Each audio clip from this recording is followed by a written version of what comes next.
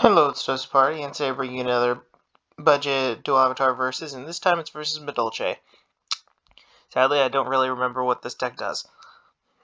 But we're going to go first, go off Perfect Sync to Yoon, getting a Yuhi on the field. Yuhi pops the token, searching up the invitation, pitching a card, then setting, or selecting the wrong card to summon, and then setting to him passing. I think it would have been a much better pick to go with a copy of the uh, Kongyo instead of making two of the attack or the one that boosts attack only. Because this is the game I actually realized that uh,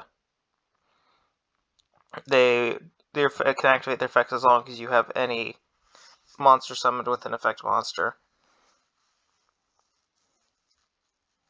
This is where I negate the the rank 5 that then they're still able to extend and go into a rank 4 after they're getting some of the, well actually I don't go to rank 4 here, they just started attacking into my field. If I had Kongyo this wouldn't have been a problem as long as I had the uh, other one as my other form of disruption because having these as the disruption is completely useless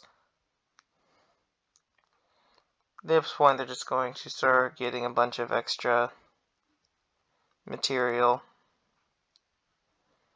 Able to attack over one, attack over the other one, set one, draw a Cosmic Cyclones, which I'm going to respond by activating it to pop two cards on the field, and they're going to respond to negate my thing. they're going to then get off another search, and at this point, all they have to do is make a tiramisu and then wipe my field, and yeah, that's pretty much game from here. All I have to do at this point is just get enough attack points. Yeah, that'll, I think that'll do it.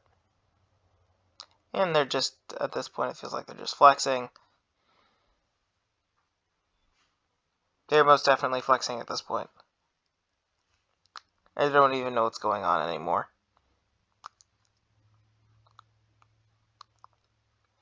And that's game one. Back with game two, and have pretty decent hand going into this. It's not really any better than the last one, but at least I have a slightly better knowledge of how stuff works. Oh, so I'm just going to get impermanence, but uh, yeah. Opponent's going to start with Pudding Cessor, which I'm pretty sure that's the thing you ash. I'm going to then pop all their back row, and they're left with nothing on field, and they scoop it up. Sad part was, my opponent had just left the match room after this game.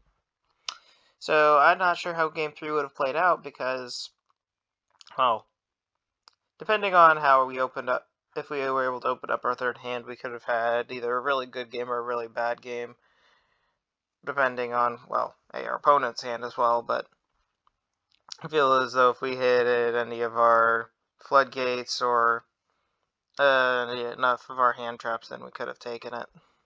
But we'll never know. Hope you enjoyed the video and hope you have a great day.